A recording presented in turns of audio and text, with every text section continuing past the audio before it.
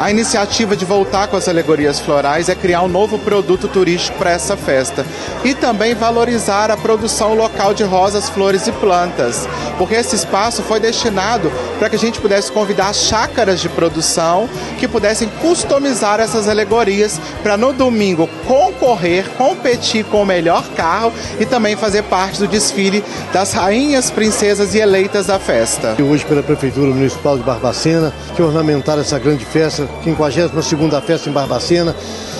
que nós temos a oportunidade de mostrar para a nossa região